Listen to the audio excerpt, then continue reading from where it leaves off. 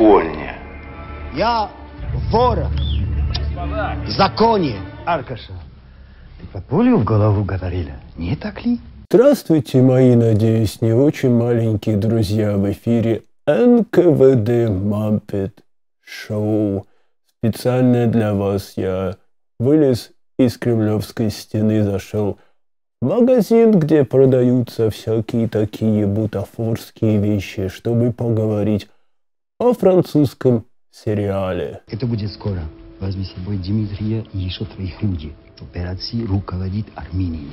И я очень надеюсь, что вы не маленькие друзья, потому что уберите всех маленьких друзей. Там, знаете ли, есть то, что не надо маленьким друзьям слушать. Он узнает, кто убил его сына. Турок ополчится на детей этого мусора. Ты это знаешь. Кто не понял, повторяю. Вы знаете, что меня зовут Большой Босс на языке Франции? Это будет Le Grand Patron. Большой босс Иосиф Виссарионович. Grand patron, Виссарионович. Да, Франция сняла про меня сериал, там действительно есть герой Иосиф Виссарионович. Наш безвременный усопший батя Йосиф Виссарионович. Сериал «Брак». Третий сезон, где про меня говорят.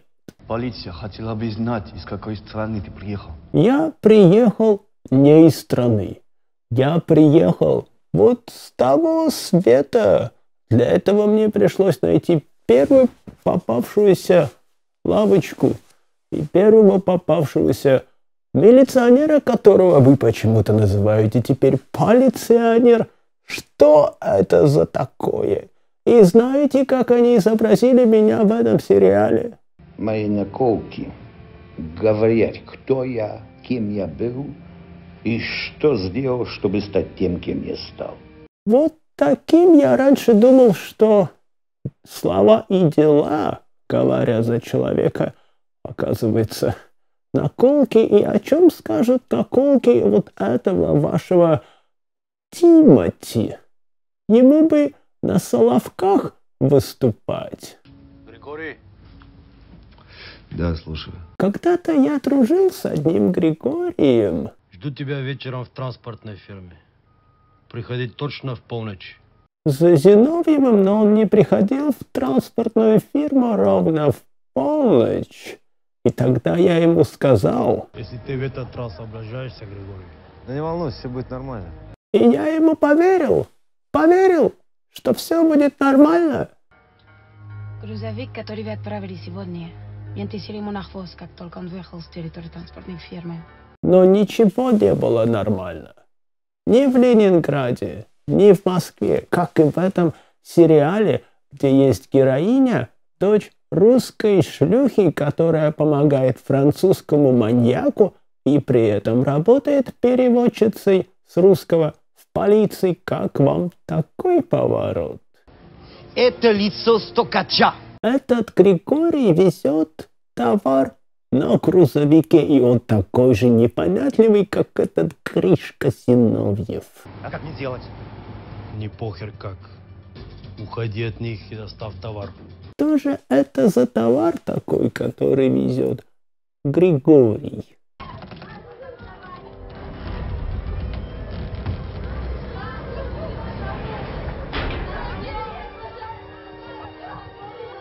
Григория расстрелять. Иванин, ты должен прийти ко мне. Произошло что-то очень серьезное. Это тот, кого назвали моим именем? Конечно, серьезно. Ведь этот товар живой. Меня зовут Марина, Марина Чернышенко. Из Украины, мне 18 лет. Elle s'appelle Marina Terechenko, elle a 18 ans, elle vient d'Ukraine. В мое время Украина поставляла зерно. А сейчас что она поставляет? Вот это дерьмо, сынок. Такое можно было бы сказать и про этот сериал. Лишь один человек мог это сделать. Этот сукин сын Михаил Павлович. Никогда, никогда не верьте великим князьям, даже Михаилу Павловичу. Про великих князей, кстати, обещался рассказать Павел Перец, пока я его не сослал в одно отдаленное место слишком либеральный стал в последнее время. Меня зовут Михаил Павлович. Только этот не похож на Михаила Павловича, который, вот, знаете, мы там русский музей вот видели в Ленинграде, там Михаил Павлович когда-то жил вот в таком большом сейчас музей, а он там жил. Вот были времена. Михаил Павлович – это un authentique fils de pute. Михаил Павлович. Михаил Павлович. Михаил Павлович. Михаил Павлович. Михаил Павлович. Михаил Павлович. Его расстрелять, как и другого. Сердюков. Игорь Сердюков. Voilà Игорь Сердюков, командор. Кому они поручают эту грязную работу? Они поручают грязную работу бледьям, считая, что если тех возьмут, про них не подумают. Какой интересный женский термин. Люди должны найти эту блядь до того, как до него доберутся люди получше. Я хочу, чтобы он все сказал, а потом сдох.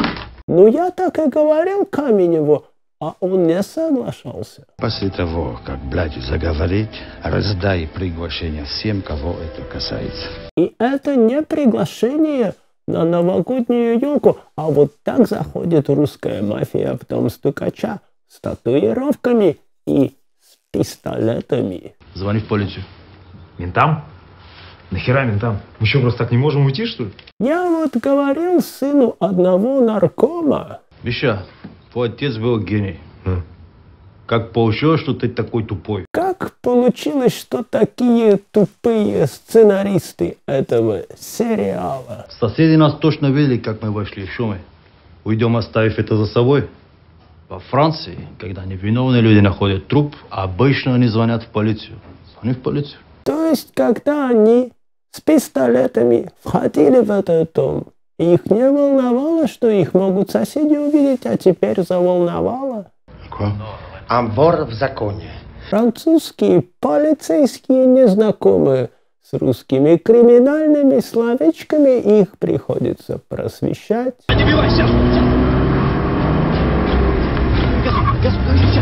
Вор в законе, но вор должен сидеть в тюрьме, я считаю. Как и Григорий. Кто тебе?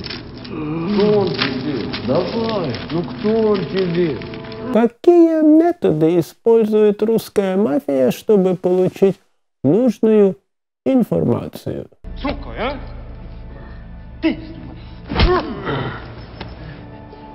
Жестоко, конечно, но как еще быть с Григорием, когда он облажался?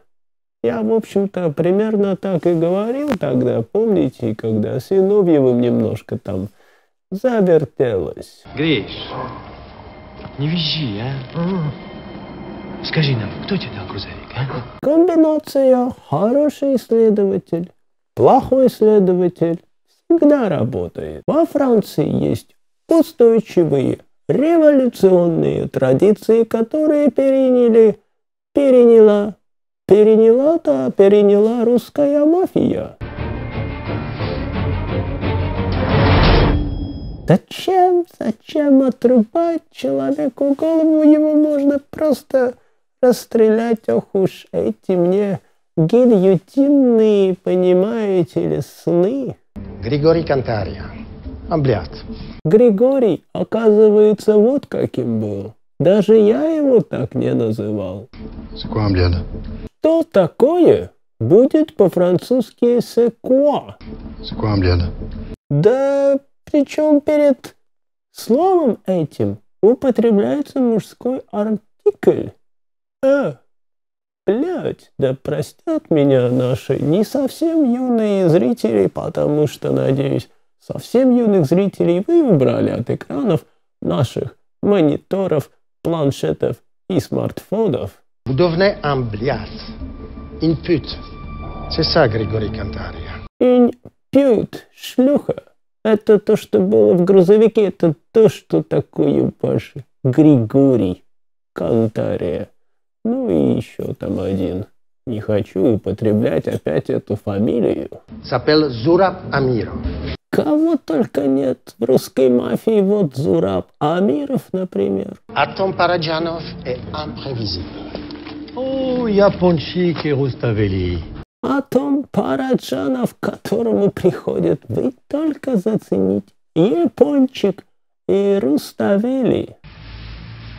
Тушь, которую использовал татуировщик в колонии, содержала очень много свинца. И теперь этот свинец живет в моей крови. Надо сказать управлению ГУЛАГа, чтобы там не использовали такую тушь. Пусть уберут это все, заберут у этих зэков. Зачем это? Заключенные, не подвергайте свою жизнь опасности. Не используйте это, используйте только проверенные материалы, тем более, что потом вас смогут опознать даже без головы. Смотри, машина, бля, какая, нихуя себе. Как это у вас сейчас называется? Такое вот, знаете, рэп. Да, точно, рэп. Смотри, машина какая не себе. Смотри, машина какая не себе. Кто-то за этим столом ведал многие мои заповеди, занявшись торговлей наркотой и бабами. А вот я, Иосиф Виссарионович, собираю своих бандитских наркомов. Блюдок дает мое имя в грязном деле. Так что теперь? Ему верят на слово? То есть ворам в законе заниматься проститутками и наркотиками запрещает кодекс. Чем же они там деньги зарабатывают? Где они доказательства? Где? А у капитана Донко, который вот этот вот Шварценеггер играл, у него преемничек появился. Какие ваши доказательства? Где они доказательства? Где? Япончик, возьми сумку и выброси наркоту в сортир. Иосиф Виссарионович плохого не посоветует. Наркоту в сортир. Там же, кстати, можно и террористов мочить. Мы вари, не сутенер, и не торгаши отравой. Вот такой кодекс воров. А Париж? Париж страшное место. Там в самом центре, прямо у площади звезды. Вот такое может происходить.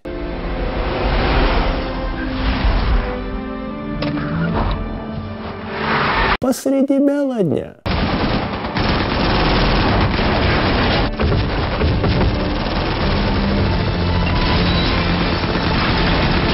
Вы помните, Смотри, машина, бля, какая, нихуя себе. как ведет себя настоящий грузин, когда в него выпустили 10 пуль? Нет, не 10 пуль, пуль много, из 10 стволов.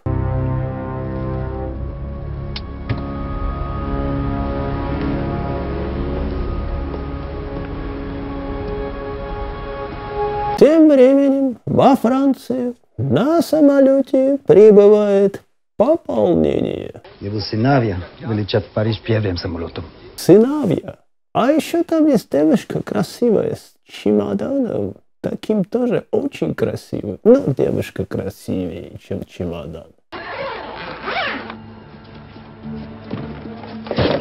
А в чемодане много чего. Не только вот это, то, что надевают, а еще разное такое другое.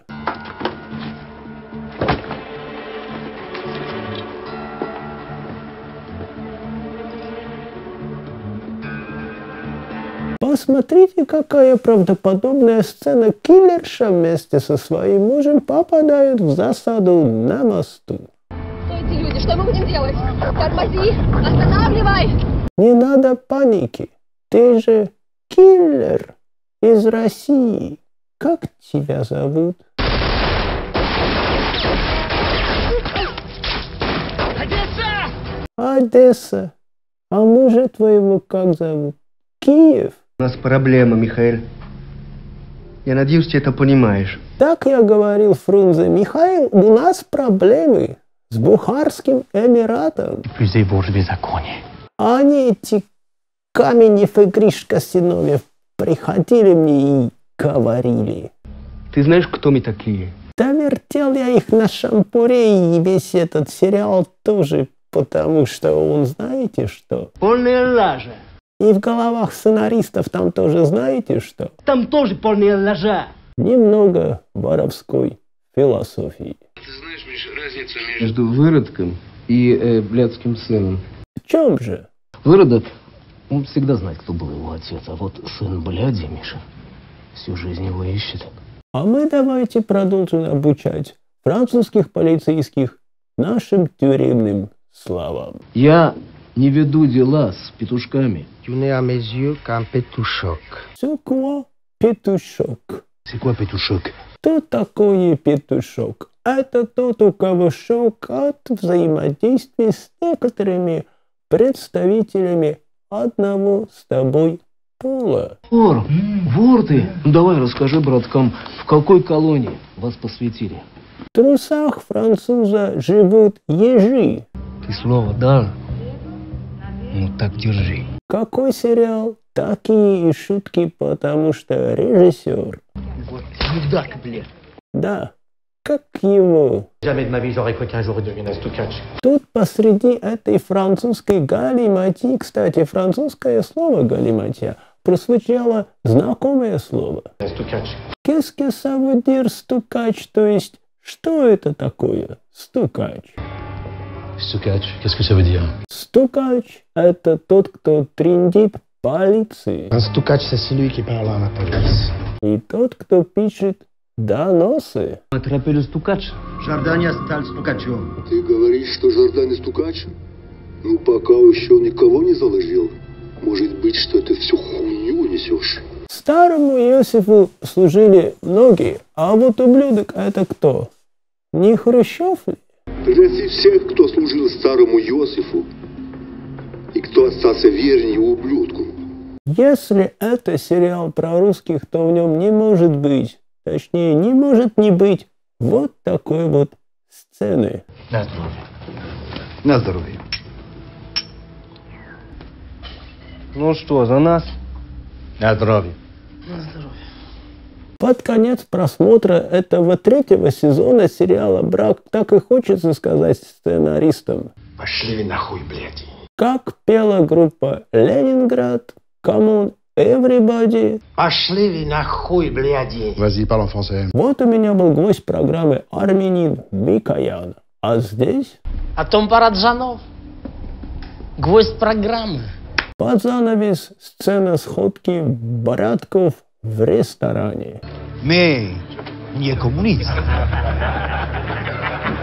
Не коммунисты. Что же вы не коммунисты делаете там? А знаете, сколько нужно грузин хачей армянских? Пять! Что? Что там про грузин ты хочешь сказать, а? Потому что когда один стоит в ванне, то четыре других в нее суд. Это поэтому от грузин постоянно воняет мочой. Лаврентий, тут к тебе человек есть, ну, для допроса, скажем так. Потому что когда мой отец трахнул шлюху, ставшую твоей матерью, он был поумнее твоего отца. Он надел гондон.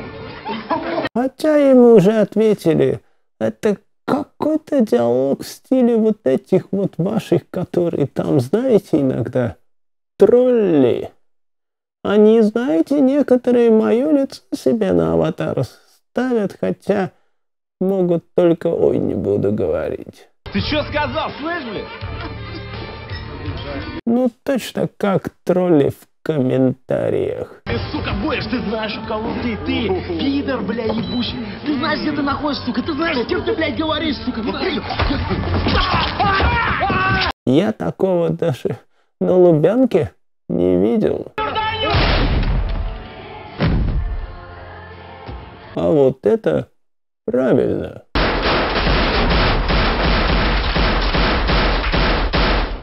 И какая, вот какая реакция может быть на такое вот произошедшее? Вот подумайте.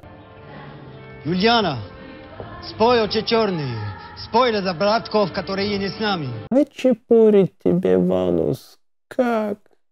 Как можно было такое вообще придумать? Очи черные, ой, да очи. Хороший комплект вот эта песня к на здоровью и вот к вот этому. Я был отец, Иосиф Виссарионович, и семья была. Но ты от нас отрекся, Мигралашвили. Какой я ему отец? Какой он мне сын?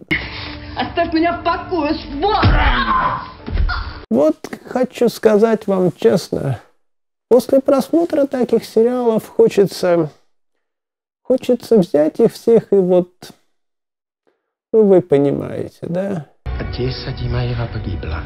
Я, в общем-то, этому перцу вашему говорил, ты у меня, слушай, допрыгаешься, допрыгаешься. Ну, он говорит, хочу вот лекции читать, Романовы без соплей, я так подумал, ну, если без соплей, если там вот так вот как было, ну, хорошо. Живи, просвещай народ. И где же, говорю, ты будешь это делать? А он сказал, в первый-первый раз в своей жизни все будет постоянно. В Петербурге в 14.30 по субботам в лофте пряники на Сенной площади. В Москве в 17.00 каждое воскресенье в библиотеке имени Толстого, хороший писатель, кстати, на Кутузовском проспекте только, только учтите, что там на Кутузовском метро проезжают в сторону центра электрички без остановки. На студенческой выходите, если будете в центре. Из центра все хорошо. И вот он это, знаете, ваш этот контакт, там встречи сделал и вот, говорит, поместит там под видео ссылки на встречи. Уже в эти выходные будут первые лекции. Там вот про дочь Николая Первого, про этого ее мужа Лихтенбергского, ну и про их потомков прекрасных во всех отношениях. Приходите. Может быть, будет интересно. Ну и, в общем, если хотите, пишите там комментарии ваши. В следующий раз, так и быть, выпущу этого перца из ГУЛАГа ненадолго, чтобы не расслаблялся. И вы тоже не расслабляйтесь, потому что этот сериал не единственный будет еще. Пока, потомки.